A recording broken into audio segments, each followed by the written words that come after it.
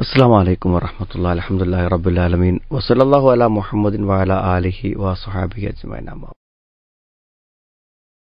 ജീവിതം അനുവദനീയമായ വഴിയിലൂടെ ആസ്വദിക്കുന്നതിന് യാതൊരു തടസ്സവുമില്ല. ആസ്വദിക്കണമെന്നതാണ്. ഈ ഒരു ചിന്തയ്ക്ക് ആധാരമായത് കഴിഞ്ഞ ഏതാനും ദിവസങ്ങൾക്ക് മുമ്പ് പരിചയപ്പെട്ട ഒരു കുടുംബമാണ്. ഒരു പത്തോ അറുപത്തിയഞ്ചോ ഒക്കെ വയസ്സ് പ്രായമുള്ള ഒരു സഹോദരനും അദ്ദേഹത്തിന് അദ്ദേഹത്തിന്റെ വയസ്സിൽ വലിയ വ്യത്യാസങ്ങളില്ലാത്ത അദ്ദേഹത്തിന്റെ ഭാര്യയുമാണ്. മക്കളുണ്ട്. മരുമക്കളുണ്ട് പേരമക്കളുണ്ട്. അത്യാവശ്യം ജീവിത സാഹചര്യങ്ങളൊക്കെ ഉള്ള നല്ല ഒരു കുടുംബമാണ്. പ്രത്യേകിച്ച് അവർക്ക് അങ്ങനെ ഒരു പറയത്തക്ക ഭൗതിക പ്രതിസന്ധികളൊന്നും അവർക്കില്ല. പക്ഷേ മക്കളാണ് പറയുന്നത് വാപ്പയും ഉമ്മയും എപ്പോഴും അങ്ങോട്ടും ഇങ്ങോട്ടും തർക്കങ്ങളും പ്രശ്നങ്ങളുമാണ്. ഒരു സമാധാന അന്തരീക്ഷം വീട്ടിലുണ്ടാവുന്നില്ല എന്നതാണ് മക്കളുടെ പര. ആലോചിക്കുമ്പോൾ വളരെ പ്രയാസം തോന്നുന്നു കാരണം ഒരു ദാമ്പത്യത്തിന്റെ വലിയൊരു കാലഘട്ടം ഗൾഫിലൊക്കെ ചെലവഴിച്ച് നാട്ടിലേക്ക് തിരിച്ചു വന്ന അദ്ദേഹത്തെ സംബന്ധിച്ചിടത്തോളം എന്താണ് ജീവിതം ആസ്വദിക്കേണ്ട ഒരു സമയമാണ്. പക്ഷെ വീട്ടിലുള്ള വളരെ നിസ്സാരങ്ങളിൽ നിസ്സാരങ്ങളായ വിഷയങ്ങളിൽ ഇടപെട്ട് അതിൽ സംസാരങ്ങൾ ഉണ്ടാക്കി.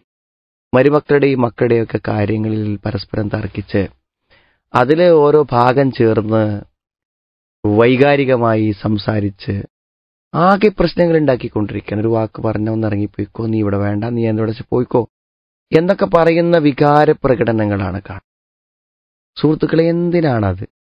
വീട്ടിന്റെ അടുക്കളയിൽ ജോലി ചെയ്യാൻ എന്തുണ്ട്? മരുമക്കളുണ്ട്. അവർ വളരെ സന്തോഷത്തോടു കൂടെ ആ കാര്യങ്ങൾ വീട്ടിലെ കാര്യങ്ങൾ ചെയ്തുകൊണ്ടിരിക്കുന്നുവോ? അത്യാവശ്യം സാമ്പത്തികമായ സഹായങ്ങൾ അയച്ചു തരാൻ മക്കളുണ്ട്. നല്ല മനോഹരമായ വീടുണ്ട്. എന്താണ് ഈ വിവാഹ ദാമ്പത്യ ജീവിതം ആസ്വദിച്ചുകൂടെ? പ്രായ ഏത് പ്രായത്തിലും നമ്മുടെ ദാമ്പത്യ ജീവിതം നമുക്ക് ആസ്വദിക്കാൻ പറ്റും. ഏത് പ്രായത്തിനും പറ്റും. വളരെ സന്തോഷത്തിലുള്ള വർത്തമാനങ്ങൾ പറഞ്ഞ് ശാരീരികവും മാനസികവുമായ ബന്ധങ്ങളിലൂടെ നമുക്കിഷ്ടമുള്ള കുടുംബങ്ങളിലും ബന്ധങ്ങളിലൊക്കെ സന്ദർശിച്ച് നമ്മൾ അങ്ങനെ ജീവിക്കുക കഴിഞ്ഞൊരു തവണ ഒരാൾ ഒരാ- കാരണവരെ കുറിച്ച് പറഞ്ഞ് ഞാൻ അത്ഭുതപ്പെടുന്നു. അദ്ദേഹത്തിന് കുറേ സമ്പത്തുണ്ട്. മക്കളൊക്കെ മുതിർന്നു പോയിട്ടുണ്ട്. അവരൊക്കെ വേറെ വീടുകൾ വെച്ചു. അയാൾ തന്റെ ഭാര്യ മരിച്ചൊരു വിവാഹമൊക്കെ കഴിച്ച് ജീവിതം അയാൾ ആസ്വദിക്കുകയാണ്. സ്വത്തുക്കളൊക്കെ പലതും വിറ്റ് അതുകൊണ്ട് കിട്ടുന്ന പണം കൊണ്ടാണ് അദ്ദേഹം. അദ്ദേഹം അങ്ങനെ വീട്ടിലൊന്ന് നോക്കും. എന്താണ് ഭക്ഷണമുള്ളത്? നല്ല ഭക്ഷണമൊന്നും അല്ലെങ്കിൽ അയാൾ എന്ത് ചെയ്യും? തൊട്ടടുത്തൊരു ഓട്ടോറിക്ഷ വിളിക്കും. അടുത്തൊരു ജംഗ്ഷനിൽ പോയി ഹോട്ടലിൽ പോയിട്ട് അദ്ദേഹത്തിന് ഇഷ്ടമുള്ള ഭക്ഷണം അദ്ദേഹം കഴിച്ചു. മനസ്സിലായി? ഇടയ്ക്കൊക്കെ ഒരു യാത്ര യാത്ര പോവും. അവിടെ ഒരു ഹോട്ടൽ എടുത്തിട്ട് അവിടെ ഒരു രണ്ട് ദിവസം താമസിക്കും. അങ്ങനെ ശരിക്കും എന്താ വെച്ചാൽ ഒരു ദൂർത്തല്ല. ശരിക്കും എന്താണ് എൻജോയ് ചെയ്യാൻ നമ്മൾ പറയില്ല സന്തോഷിക്ക ജീവിതം. നമ്മൾ നമ്മൾ വിഡ്ഢികളാണ് പലപ്പോഴും. നമ്മൾ ഇടപെടേണ്ടതില്ലാത്ത വിഷയങ്ങൾ ഇടപെട്ടിട്ട് നമ്മളാക്കി ഇപ്പം ഈ ഇവരൊക്കെ എന്താ ചിലപ്പോൾ മരുമക്കളൊക്കെ ഇങ്ങനെ ജോലി ചെയ്യുമ്പോൾ അതല്ല ചെയ്യേണ്ടത് ഇതാണ് ചെയ്യേണ്ടത്. നിനക്ക് ഇപ്പൊ അലക്കിക്കൂടെ ഇപ്പൊ കുളിച്ചൂടെ ഇപ്പൊ നിനക്ക് ആ വസ്ത്രം.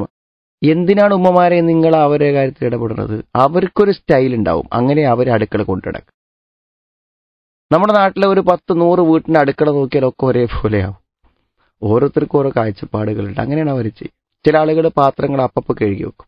ചില ആളുകൾ ഒന്നിച്ച് കഴുകും. ചില ആൾക്കാർ രാത്രി കൂട്ടി രാവിലെ കഴുകും. ഓരോരുത്തർക്കും ഓരോ സ്റ്റൈലാണ് അങ്ങനെയാണ് അവർ കാര്യങ്ങൾ ചെയ്യുക.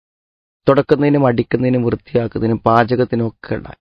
നോക്കൂ നിങ്ങൾ ഒരു മീൻ കറി നൂറ് ആളുകൾ ഉണ്ടാക്കിയാലും നൂറ് ടേസ്റ്റാണ് ഏതെങ്കിലും ഒരു കറി ഒരു ടേസ്റ്റ് ഉണ്ടാവും. എന്നാൽ ഓരോരുത്തർക്കും ഓരോ കാഴ്ചപ്പാടാണ്.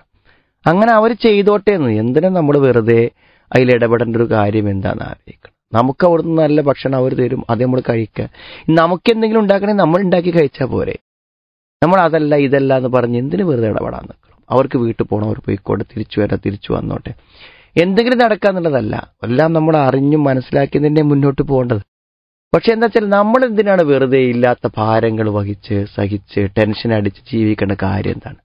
ഇപ്പൊ ഈ കുറച്ച് പ്രായമായ ആളുകൾക്കൊക്കെ എന്തുകൊണ്ട് അവർക്ക് ഇഷ്ടമുള്ള ഭക്ഷണം ഉണ്ടാക്കി ഇഷ്ടമുള്ള സ്ഥലങ്ങൾ സന്ദർശിച്ച് പേരക്കുട്ടികളെയൊക്കെ ഒന്ന് കളിപ്പിച്ച് അവരുമായിട്ടൊക്കെ ഒന്ന് ഇടപഴകി ഉള്ള സമയത്തൊക്കെ മനസ്സെടുക്കുന്ന വർത്തമാനങ്ങൾ പറഞ്ഞ് ആരാധനകൾ ചെയ്ത് റേഡിയോ പോലുള്ള കാര്യങ്ങൾ കേട്ട് നമുക്ക് നല്ല പള്ളികളിൽ ഹൊത്തുബക്ക് പോയി അതൊക്കെ കേട്ട് നല്ല ഭക്ഷണമൊക്കെ കഴിച്ച് ഇങ്ങനെ എന്തുകൊണ്ടൊരു അനുവദനീയമായ വഴിയിലൂടെ ജീവിതം ആസ്വദിച്ചുകൂടാന്നാണ്.